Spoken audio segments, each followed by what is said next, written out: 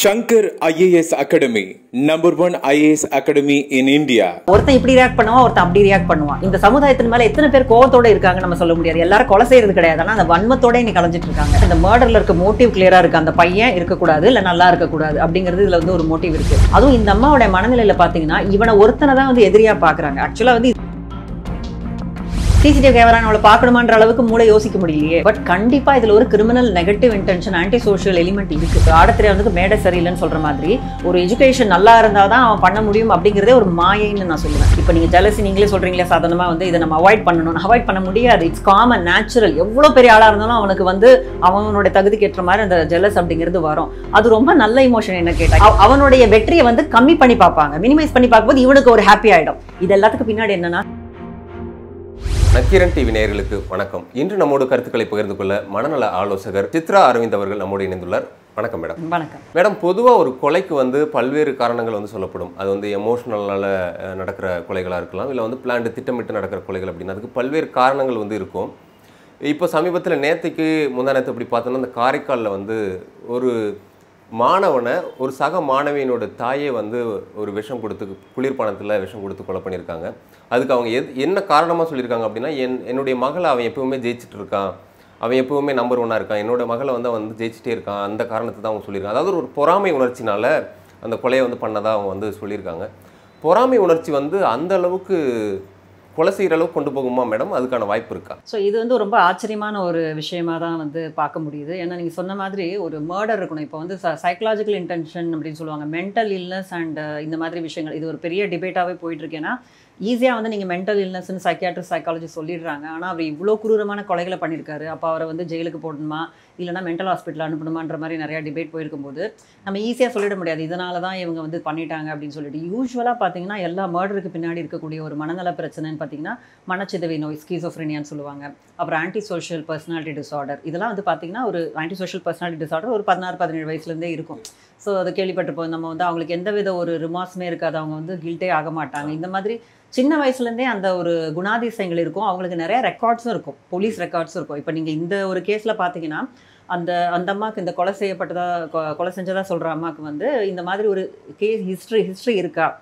இப்போ அவங்களுக்கு ஆல்ரெடி இந்த மாதிரி நிறைய ஏதாவது ஒரு சின்ன சின்ன விஷயம். ஆப்வியஸ்லி மர்டர்னா அவங்க முன்னாடியே மாட்டியிருப்பாங்க. பட் நிறைய வந்து இந்த மாதிரி பெட்டி தவறுகள். செஞ்சுருக்காங்களா? அக்கம் பக்கத்தில் எப்படி நடந்திருக்காங்க? இந்த மாதிரி விஷயங்கள் பண்ணாதான் இவங்களுக்கு அந்த மாதிரி ஒரு பர்சனாலிட்டி டிசார்டர் மேபி இருந்திருக்கலாம். ஏன்னா எல்லாருக்குமே ஜெலசி அப்படின்னு பார்த்தீங்கன்னா it's a common emotion jealousy இப்போ ஹர்ஷவர்தனா சொல்லி சொல்கிறாங்க ஜலசிங்கிறது வந்து ஒரு சிக்ஸ் இன்டர்னல் எனிமீஸ் அப்படின்னு. அது இருக்கக்கூடாது ஒருவருக்கு. என்வி அண்ட் ஜலசி நம்மளே தான் கொண்டுடும் அப்படின்ற மாதிரி சொல்கிறாங்க ஸோ இந்த கேஸில் இன்னொருத்தங்களது கொண்டிருக்கு ஸோ இப்போ ஜலசி அப்படிங்கிறது பார்த்தீங்கன்னா ஒரு நெகட்டிவ் இமோஷன் தான். அது வந்து கண்டிப்பாக இன்னொருத்தங்க கிட்ட ஏன் வருது அப்படின்னா அது ஒரு ஒரு மனித ஒரு உணர்வுகள் தான். அது என்ன சொல்ல வருதுன்னா அவங்க கிட்ட இருக்க விஷயம் எனக்கு வேணும். ஸோ அந்த பையன் நல்லா படிக்கிறான் நல்ல மார்க் வாங்குறான் அப்படின்னா என் பொண்ணும் அதை வந்து வாங்கணும். இப்போ அந்த ஜெலசி வந்து அந்த பொண்ணுக்கு இருக்கு அந்த தாய்க்கு இருக்குன்ற பட்சத்தில் இந்த பொண்ணு வந்து ஏன்னா அவன் வாங்குற மாதிரி நாட் only இன் மார்க்ஸ் அவன் வந்து எக்ஸ்ட்ரா கரிக்குலர்லலாம் இருக்கிறான். அந்த மாதிரி சிறந்து விளங்கணும் அப்படிங்கிற ஒரு விஷயம் எங்கிட்ட இருக்கணும் அப்படிங்கிறது வந்து ஒரு பொறாமை. ஸோ அந்த பொறாமை தீ வந்து அத்தனை மனிதர்கள்ட்ட இருக்கலாம். இந்த ஸ்கூலில் அந்த கிளாஸ் பொண்ணுகிட்ட இருக்கு அது நிறைய பேர்கிட்ட கூட இருக்கலாம். ஆனால் சொல்ற மாதிரி இது ஒரு மர்டர் அளவுக்கு போகுமா அப்படின்ற ஒரு கட்டத்தில் தான் நம்ம அதை பார்க்கணும். அதான் மேடம் இப்போ போட்டி பொறாமைன்றது ரொம்ப இயல்பான ஒன்று தான் அது எல்லா மனிதர்களுக்குமே இருக்கக்கூடிய ஒன்று தான் அதை எப்படியோ வந்து ஹேண்டில் பண்ணி போயிடுவாங்க. அது ஒவ்வொருத்தரும் ஒவ்வொரு மாதிரி. இதில் கூட பார்த்தீங்கன்னா இந்த விஷயத்தில் என்ன வித்தியாசமாப்படுதுன்னா அந்த மாணவிக்கு அந்த மாணவன் ஜெயிச்சிட்டே இருக்கான் அப்படிங்கும்போது ஒரு பொறாமையில் வந்து அவனுக்கு எதிராக ஏதாவது பண்ணலாம். அவனுடைய சைக்கிளை பஞ்சர் பண்ணலாம். அவன் நோட் புக்கை வந்து திருடி வச்சு மறைச்சு வைக்கலாம். இல்லை அவ அந்த குழந்தை கூட என்ன பண்ணலாம்னா இவனுக்கு ஏதாவது ஒரு கூல்ட்ரிங்க்ஸில் ஏதாவது ஒரு கலந்து கலந்து கொடுக்கலாம் அப்படின்றது வந்து ஒரு லாஜிக்கலாக படுது. ஒரு பேரண்ட்ஸ் அவங்க ஒரு ஒரு த ஒரு மாணவியினுடைய தாய் அவங்க சக மாணவனை தாம் மகளோட படிக்கிற இன்னொரு மாணவனை வந்து கொலை செய்கிற அளவுக்கு அந்த பொறாமை உணர்ச்சி கொண்டு போகிறதுன்றது உண்மையிலே சாத்தியமாக இல்லை அதுக்கு வே பின்னாடி வேற ஏதாவது உளவியல் ரீதியான காரணங்கள் இருக்கும் அப்படின்னு நினைக்கிறீங்களா? அது இது வந்து இப்போ வெல் பிளான்டு மீடியேட்டர்னு சொல்லுவாங்க மாதிரி தான் அவங்க வந்து எல்லாமே நல்லா இப்போ கடைக்கு போய் வாங்குற வரைக்கும் அவங்க தெளிவாக திங்க் பண்ணியிருக்காங்க ஆனால் இப்போ பார்த்தீங்கன்னா இந்த மர்டரில் இருக்க மோட்டிவ் கிளியராக இருக்குது அந்த பையன் இருக்கக்கூடாது இல்லை நல்லா இருக்கக்கூடாது அப்படிங்கிறது இதில் வந்து ஒரு மோட்டிவ் இருக்குது இப்போ அவங்க என்ன மாதிரி செஞ்சிருக்கலாம்? மேபி அவங்க சொன்ன மாதிரி டயரியா டேப்லெட்ஸ் மட்டும் கொடுத்து இந்த ஒரு ஃபங்க்ஷனில் அவன் இருக்கக்கூடாது என் பொண்ணு ஜெயிக்கணும் அந்த இடத்துல அவள் தான் அவார்டு வாங்கணும். ஏன்னா ரெண்டு பேருக்கும் ஒரு நெருக்கமான ஒரு போட்டி இருந்திருக்கு அப்படிங்கிற பட்சத்தில் ஒருவேளை இவனை கீழே இறக்கிட்டா இவன் மேலே வந்துடலாம் அப்படிங்கிற ஒரு விஷயம் இருக்கலாம். இதுக்கு வந்து மே பின்னாடி நீங்கள் இதை போய் பார்த்தீங்கன்னா வந்து இந்த ரேட் ரேஸ் இந்த சமுதாயத்தில் வந்து எல்லாமே போட்டியாக தான் பார்க்கப்படுது இப்போ எல்லாரும் நைன்டி நைன் பாயிண்ட் நைன் வாங்கிட்டு இருக்காங்கன்னா எங்கே போகுதுன்னு தெரியாது. அதுவும் இந்த அம்மாவோட மனநிலையில் பார்த்தீங்கன்னா இவனை ஒருத்தனை தான் வந்து எதிரியாக பார்க்குறாங்க. ஆக்சுவலாக வந்து இது நேஷனல் லெவலில் அவங்க கம்பேர் பண்ணி பண்ணியிருந்தா கூட பரவாயில்ல. ஒரு கிளாஸ் லெவலில் காரைக்காலில் அவங்க கிளாஸில் அதுவும் அந்த அந்த செக்ஷனில் இந்த பையன் வந்து பெட்டராக இருக்கான்றது வந்து ரொம்ப ஒரு தொலைநோக்கு பார்வையை நம்ம சொல்லவே முடியாது. இதிலே அவங்களுக்கு மனநல பிரச்சனைகள் இருந்திருக்கலாம்னு கூட நம்ம சொல்லலாம். ஏன்னா காக்னேட்டிவ் ப்ராப்ளம்ஸ் இருக்கிறவங்களுக்கு வந்து கான்சிக்வன்சஸ் யோசிக்க மாட்டாங்க. இப்போ இவங்க வந்து சிசிடிவி கேமரா இருக்கிறதெல்லாம் கவனிக்க இவ்வளோ யோசிச்சாமா சிசிடிவி கேமரா அவளை பார்க்கணுமான்ற அளவுக்கு மூளை யோசிக்க முடியலையே. இப்போ நிறைய பேர் இப்படி மர்டரில் பண்ணுறவங்க வந்து பார்த்தீங்கன்னா அழகாக நான் வாங்க. அதுக்கப்புறம் என்ன நடக்கும்னு கேட்டால் தெரியாது. ஸோ இந்த காக்னேட்டிவ் டிஸ்ஃபங்க்ஷன் அதாவது அவங்களால மேற்கொண்டு திங்க் பண்ண முடியாத ஒரு ப்ராப்ளமும் இருக்குது இதெல்லாம் நல்லா வெல் இமீடியட்டாக பிளான் பண்ணியிருக்காங்க. இதுக்கு அடுத்து சிசிடிவியில் பார்த்தா நம்ம அழகாக மாட்டிக்க போகிறோம் இது எல்லாருக்குமே தெரிய போகுது. இதனால் பொண்ணும் வந்து எக்ஸ்போஸ் ஆக போகிறா அந்த அளவுக்கு அவங்களால திங்க் பண்ண முடியாததே கூட நிறைய இந்த மர்டர்ஸ் பண்ணவங்களெல்லாம் பார்த்தீங்கன்னா ஒரு ஒரு இம்பல்ஸில் பண்ணுவாங்க. சில பேர் யோசிச்சு கூட பண்ணுவாங்க. அதெல்லாம் பண்ணாலும் உடனே நம்ம மாட்டிப்போன்றது மட்டும் அவங்களுக்கு தெரியாமல் போயிடுது. இப்போ முன்னாடி அந்த அபிராமி மடலில் கூட எல்லாம் பண்ணாங்க. மாட்டிக்கிட்டு அவங்க லைஃபே போச்சு அப்படிங்கிற அளவுக்கு அவங்களுக்கு சிந்திக்க முடியல. ஒரு சிந்தனை கோளாறாகவும் நம்ம இதை உளவில் ரீதியாக பார்க்கலாம். மற்றபடி ஒரு மேஜர் மென்டல் டிசார்டர்ஸ் இருக்க மாதிரி இதில் தெரியல. இது அவங்களுடைய கேஸ் ஹிஸ்ட்ரியில் போய் இதுக்கு முன்னாடி ஒரு சின்ன சின்ன விஷயங்களை அவங்க போய் சொல்லியிருக்காங்க. இந்த மாதிரி ஒரு விஷயங்களை வந்து அவங்க பண்ணியிருக்கிறாங்க அப்படின்னு பார்த்தா ப்ராபப்ளி இவங்களுக்கு இது இருந்திருக்கலாம் ரொம்ப நாள் இந்த அம்மாவுக்கு. ஆனால் இன்னொரு இதை விதமாகவும் நான் இதை பார்க்குறேன். ஒரு குழந்தை மேலே இருக்க அபரிதமான பாசம். இப்போது எல்லா அம்மாங்களுமே வந்து தான் பிள்ளை தான் நம்பர் ஒன்னாக இருக்கணும் அப்படின்ற மாதிரி அவங்க நினைக்கிறாங்க. இப்போ இந்த போட்டி எல்லாம் நிறைய இப்போ வந்து மீடியாலே வருதுன்ற போது கண்டிப்பாக எல்லாருக்குமே ஒரு நிமிஷம் எல்லாருக்குமே அந்த குரூரமான என்ன வேணும். இவங்க செத்துட்டாங்கன்னா நம்மளுக்கு தானே அது கிடைக்கும் அப்படிங்கிற மாதிரி ஒரு தாட் வரும். அது இது நமக்கு நடத்தியே காட்டிட்டாங்கன்றது தான் இது பொண்ணுடைய ஒரு தோல்வியை வந்து அவங்களால ஏற்றுக்க மு ஏற்றுக்கொள்ள முடியல. அவளுடைய கஷ்டத்தை வந்து இவங்களால பார்க்க முடியலன்ற மாதிரி இது ஒரு தாயோட செயலாமும் இருக்கலாம். இது எல்லாமே அசம்ஷன்ஸ் தான். இது உளவியல் ரீதியாக பார்த்தீங்கன்னா ஒரு ரொம்பவும் வந்து ஒரு ஓவர் ப்ரொடெக்டிவாக அந்த பொண்ணு நல்லா இருக்கணும். அவ மேலேயே ரொம்ப வந்து இதுவாக ஒரு ஹெலிகாப்டர் பேரண்டிங் மாதிரி பண்ணிட்டு இருக்க ஒரு அம்மா வந்து அவர் பொண்ணுடைய ஒரு மன உளைச்சலை பார்க்க முடியல. எப்போ எவ்வளோ ட்ரை பண்ணாலும் அவன் வாங்கிடுறான் மார்க்கு என்னால் வரவே முடியல. என்னால் வந்து நம்பர் ஒன்னாக இருக்கவே முடியல அப்படிங்கிற அந்த பொண்ணுடைய தினம் தினம் அவள் படுற கஷ்டத்தெல்லாம் பார்த்து கூட இவனால தானே பிரச்சனை இவன் இல்லைன்னா என் பொண்ணுக்கு கிடைச்சிரும் இல்லையா? அப்படிங்கிறத கூட அவங்க பல நாட்கள் அவங்க யோசிச்சிருக்கலாம். இவன் ஒருத்தன் தான் பிரச்சனையான்னு அவங்க நினைச்சிருக்கலாம். எல்லா பேரண்ட்ஸுக்குமே வந்து தன்னுடைய மகளோ மகனோ நம்பர் ஒன்னாக இருக்கணும். அது படிப்பாக இருக்கலாம் இல்லை எக்ஸ்ட்ரா கரிக்குலர் ஆக்டிவிட்டீஸாக இருக்கலாம். எல்லாத்துலேயுமே நம்ம மகன் மகள் வந்து நம்பர் ஒன்னாக இருக்கணும்னு நினைக்கிறது இயல்பான ஒன்று தான் அதில் வந்து பார்த்தீங்கன்னா சில பேர் என்ன பண்ணுவாங்கன்னா ஓவராக மற்ற மாணவர்களோட வந்து கம்பேர் பண்ணி திட்டுறதும் பண்ணுவாங்க. அவனை பார்த்தியா? எப்படி படிக்கிறான்? நீ எப்படி படிக்கிற? அவனை பாரு அந்த பொண்ணை பாரு இப்படி சொல்லி சொல்லி இது பண்ணுவாங்க. அதில் சில தற்கொலைகள் கூட நடந்திருக்கு அப்படின்றத பார்த்துருக்கோம். ஆனால் இந்த கேஸில் ரொம்ப வித்தியாசமாக தன்னுடைய மகள் நம்பர் ஒன்னாக வர்றதுக்காக அவங்க எதுவும் பண்ண மாதிரி தெரியல. இல்லை ஒருவேளை பண்ணியிருக்கலாம் அவங்க.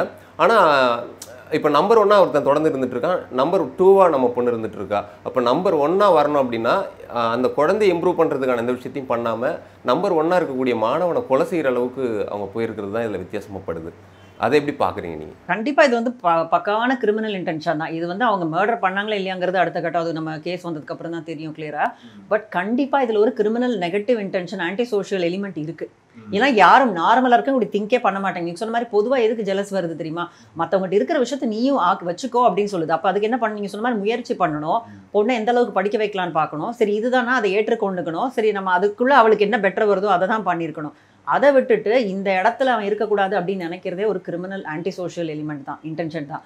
இப்படி ஒருத்தங்க இன்னைக்கு யோசிக்கிறாங்கன்னா அது இன்னைக்கு நேத்திக்கெல்லாம் வந்திருக்காது பல நாட்களாகவே அவங்க இந்த மாதிரி அவங்களுடைய ஹிஸ்ட்ரியை பார்த்தீங்கன்னா இந்த மாதிரி யோசனைகள் இருந்திருக்கலாம். மேபி மாட்டிக்கிற அளவுக்கு அவங்க எதுவும் பண்ணியிருக்க முடியாது. இதில் இந்த இடத்துல மாட்டினால இது வெட்ட வெளிச்சமாக தெரியுது.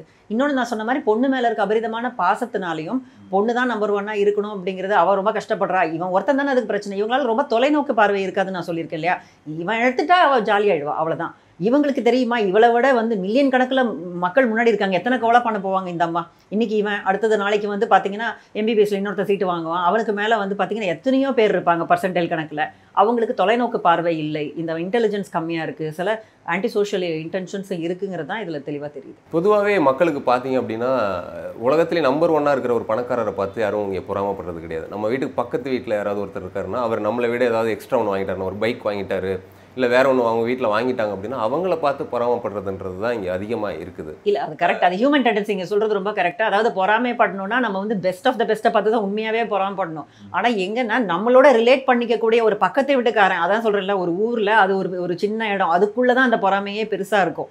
பார்த்தீங்கன்னா அவங்களெல்லாம் விட்டுருவாங்க. அப்போ உண்மையான இன்டென்ஷன் என்ன மனிதத்தில் வந்து நீ சிறந்து விளங்கணுங்கிறதெல்லாம் இன்டென்ஷன் கிடையாது. உன்னை விட நான் பெட்டராக இருக்கணும் அப்படிங்கிற ஒரு விஷயம் தான் இதில் வந்து மேலோங்கி காணப்படுது.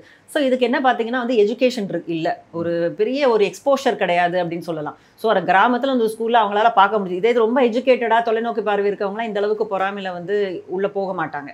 வந்துடலாம் நம்ம வெளியிலன்னு பார்ப்பாங்க. பொதுவாக இந்த பேரண்டிங் அப்படின்றது எப்படி இருக்கணும்னு நீங்கள் நினைக்கிறீங்க? அது பேரண்டிங் மட்டும் இல்லை ஸ்கூல் சைடில் டீச்சர்ஸாக இருக்கலாம் நம்ம எஜுகேஷன் சிஸ்டமாக இருக்கலாம்.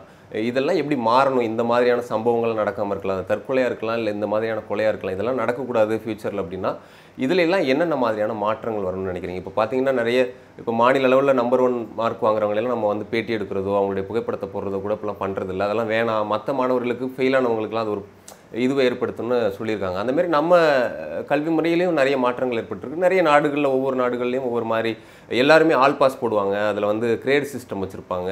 மதிப்பெண் சொல்ல மாட்டாங்க. மாணவர்களுக்குள்ள எதுவும் ஒரு அந்த மாதிரியான ஏற்றத்தாழ்வு எண்ணம் வெறுப்பு பொறாமை இது வரக்கூடாதுன்னு பண்ணியிருப்பாங்க. இந்த மாதிரி இங்கே என்னென்னலாம் இந்திய அளவில் இந்திய சூழலில் என்ன பண்ணணும் அப்படின்னு நினைக்கிறீங்க? இப்போ பேரண்டிங் ஸ்கூல் சைடோட அடுத்த ஒரு ஸ்டேக் ஹோல்டர் இந்த சொசைட்டி இதெல்லாம் நம்மளாலலாம் ஏற்படுது அந்த சொசைட்டி சொசைட்டியில் இருக்கிறது தான் இந்த ஸ்கூலிங் சிஸ்டம் எஜுகேஷன் சிஸ்டம் நம்ம பேரண்ட்ஸ் எல்லாருமே இதில் வராங்க. இப்படி பார்த்தீங்கன்னா வந்து இந்த சொசைட்டி போடுற ப்ரெஷரில் தான் இவங்க ரெண்டு பேருமே ஆட வேண்டியிருக்கு. இவங்க ஒரு பகடக்காயாக தான் இருக்கிறாங்க நான் சொல்லுவேன். இந்த ஸ்கூல்ஸும் வந்து பாவம் அவங்கள என்ன பண்ண முடியும்? They are facing so much of pressure from the society இவங்க வந்து இப்படி நம்பர் ஒன் கொடுத்து ஹண்ட்ரட் பர்சன்ட் பாஸ் கொடுத்தா தான் நாளைக்கு இவங்களுக்கு ஃபீஸ் கொடுத்து இவங்க ஸ்கூலில் வந்து சேர்ப்பாங்க. அதனால் அவங்க ப்ரெஷர் பண்ணுறாங்க அடுத்தது இவங்க என்ன பண்ணுறாங்க நம்ம பேரண்ட்ஸ் வந்து இதுக்காக ப்ரெஷர் பண்ண படுறாங்கன்னா குழந்தைங்களுக்கு கண்டிப்பாக சீட் நாளைக்கு கிடைக்காது. ஸோ இந்த மாதிரியான ஒரு விஷயத்தினால இவங்க ப்ரெஷர் பண்ணுறாங்க ஸோ இவங்க ரெண்டு பேரும் ப்ரெஷரை நம்ம குறைக்கிறதுக்கு வந்து இந்த கல்வி சிஸ்டம் இந்த எஜுகேஷன் சிஸ்டமில் வந்து சில சேஞ்சஸ் வரணும். ஏன்னா இப்போ எல்லா மாணவர்களுமே நல்லா படிச்சுட்டாங்கன்னா அப்புறம் என்ன தான் பண்ணுறது லட்சக்கணக்கில் அத்தனை பேருமே நைன்டி நைன் பாயிண்ட் நைன்னா அப்புறம் எதை வச்சு தான் நம்ம தேர்ந்தெடுக்குது பாப்புலேஷன் அந்த அளவுக்கு நோக்கி போயிட்டு இருக்கு. ஸோ இப்போ இதில் வந்து முக்கியமாக இதுக்கு ஒரு பெரிய தொலைநோக்கி பார்வையோட வந்து ஒரு நம்ம வந்து கவர்மெண்ட்டில் வந்து நிறையா பாலிசி சேஞ்சஸ் கொண்டு வரணும் தான் நான் சொல்லுவேன். ஸோ அப்படி இருக்கும்போது ஒவ்வொருத்தருக்கும் இது ஒரு ப்ரெஷர் ஆகாது. அதனால தான் இப்போ நிறைய பேர் வெளிநாட்டுக்கு தப்பிச்சு விடுறாங்க. இங்கே நைன்ட்டி ஃபைவ் நைன்ட்டி நைன் வாங்கினா தான் இந்தியாவிலே இருக்க முடியுது. இங்கே ரேட்ரேஸ் வேண்டாம். நான் செவன்ட்டி ஃபைவ் வாங்கினா கூட ஃபாரின் யூனிவர்சிட்டிக்கு போகிறேன் பணம் இருந்தால் அவங்க தப்பிச்சு போயிடுறாங்க. மற்றவங்களாம் இங்கே வந்து மாட்டிக்கிறாங்க. பட் நான் இங்கே சொல்ல வர்றது என்னன்னா எல்லாருக்கும் ஒரு பிம்பம் தான் இது. ஒரு இன்ஜினியரிங் காலேஜ் சேர்ந்துட்டாலோ இல்லை மெடிக்கல் காலேஜ் சேர்ந்துட்டாலோ லைஃப் செட்டில்னு எத்தனை இன்ஜினியர்ஸ் வேலை இல்லாமல் இன்றைக்கி இருக்காங்க ஸ்விக்கியில் வேலை செய்கிறாங்கன்றது கூட நிறைய பேருக்கு தெரிஞ்சிருக்கும். எத்தனை மெடிக்கல் டாக்டர்ஸ் கூட வெளில வந்தோடனே ப்ராக்டிஸ் பண்ண முடியாமல் இருக்காங்கன்னு.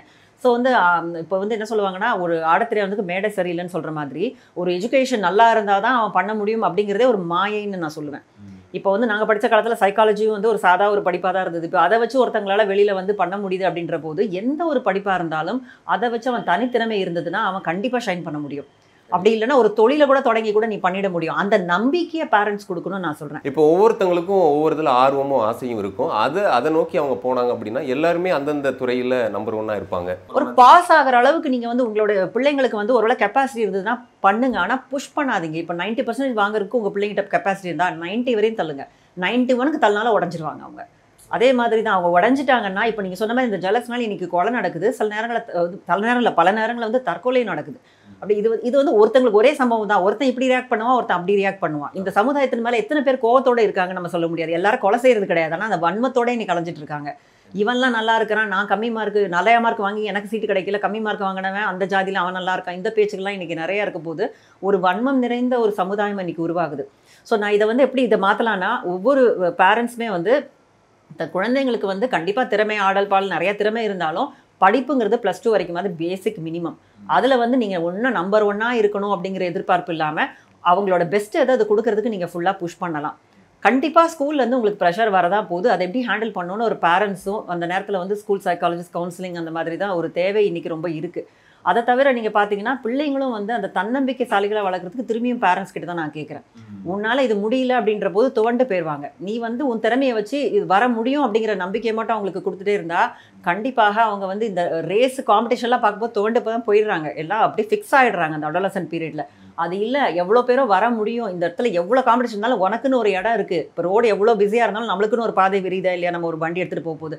அதே மாதிரி இந்த சமுதாயத்தில் உன்னாலையும் ஜெயிக்க முடியுங்கிற நம்பிக்கை வந்து முதல்ல பெற்றோர்கள் இந்த ப்ரெஷர்லேருந்து வெளிப்பட்டாதான் அவங்க அந்த பாசிட்டிவிட்டியை குழந்தைங்களுக்கு கொடுக்க முடியும். ஸோ அதை கொடுத்தாக கண்டிப்பாக அவங்க வந்து ஒரு தன்னம்பிக்கை இருக்கும்போது இந்த ஜெலஸ் இந்த விஷயம்லாம் இருக்காது. எனக்கு என்ன வேணும் அதை நான் நோக்கி போகிறேன் நான் நல்லா இருக்கேன் அவ்வளோதான் பார்ப்பேன் பொதுவாகவே பொறாமை அப்படின்ற எண்ணமே ஒரு தவறானது அது மனிதர்களுக்கு இருக்கக்கூடாது அப்படின்னு தான் சொல்லுவாங்க. பொறாமைன்றது வந்து நம்மளுக்குள்ளே ஒரு நெகட்டிவ் வைப்பை க்ரியேட் பண்ணும் ஒரு நெகட்டிவ் எனர்ஜி அது அப்படின்றதான் கேள்விப்படுறோம். ஆனால் என்ன தான் சொன்னாலும் பொறாமைன்றது எல்லாருக்குமே இயல்பாக வரக்கூடிய ஒன்றா இருக்குது அதாவது எல்லாருமே சொல்லுவாங்க எல்லாரும் அன்பு செய்வோம் எல்லோரையும் நேசிப்போம் அப்படின்னு சொல்லிகிட்டே இருப்பாங்க.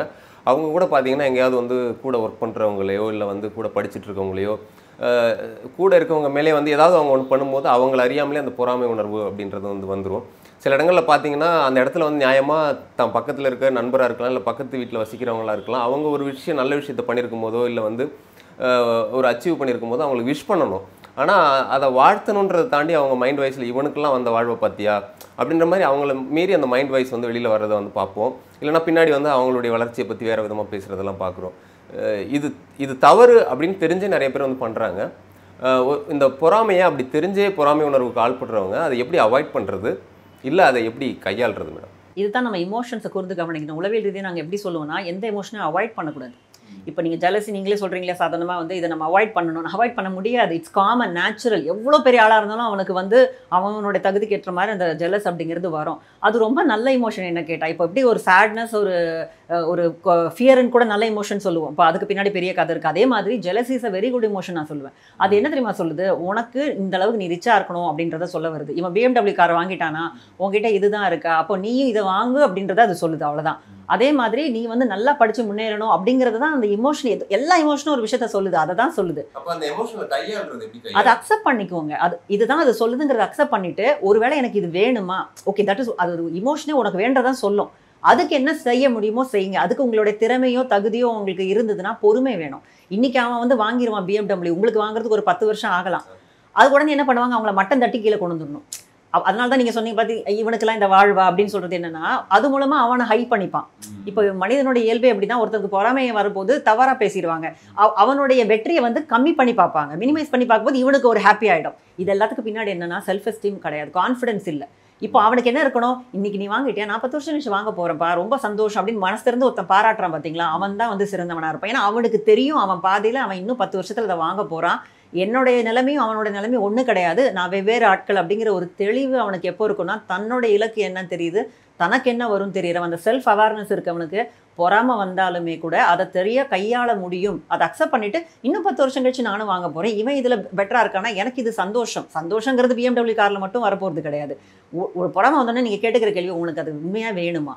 I you do you really wanted வேணும்னா அதுக்கு என்னென்ன பண்ணணும்? அதுக்கு உடனே அவனை குறைச்சி பேசுகிறத விட்டுட்டு நம்மளுக்கு அது வேணுமாங்கிறது அடுத்தது ஆக்ஷன் ஓரியன்டாக போகிறது தான் மனிதனுடைய இயல்பாக இருக்கணும் அப்படிங்கிற. அக்செப்ட் பண்ணிக்கோங்க. அதை டினை பண்ணிங்கன்னா இன்னும் வெண்மம் அதிகமாகும்.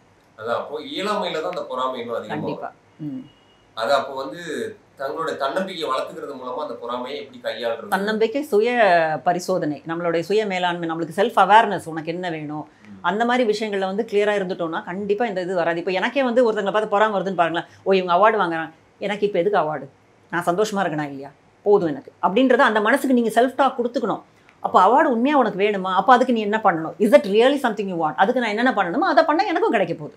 அவ்வளவுதான். அதை அப்படிதான் பார்க்கணும். கண்டிப்பா இன்னைக்கு பொறாமை அப்படின்ற உணர்வு குறித்தும் அது எந்த அளவுக்கு வந்து மனிதர்களுடைய இதுல வந்து கொலை செய்யற அளவுக்குலாம் போறதுக்கான வாய்ப்பு இருக்கா? அது தற்கொலையை தூண்டுமா? அப்படின்னு பல்வேறு விஷயங்களை நேயர்களுக்கு பகிர்ந்துக்கிட்டீங்க மிக்க நன்றி மேடம். நன்றி. நக்கீரன் டிவிக்கு சப்ஸ்கிரைப் செய்யுங்கள். உங்கள் ஆதரவே எங்கள் பலம். ஆசிரியர்களுக்கு நண்பனாகவும் மாணவர்களுக்கு ஆசானாகவும் திகழும் தேர்வு வழிகாட்டி. ஒவ்வொரு பாடத்திற்கும் அனுபவமிக்க ஆசிரியர்களின் துல்லியமான தெளிவான விடைகள்.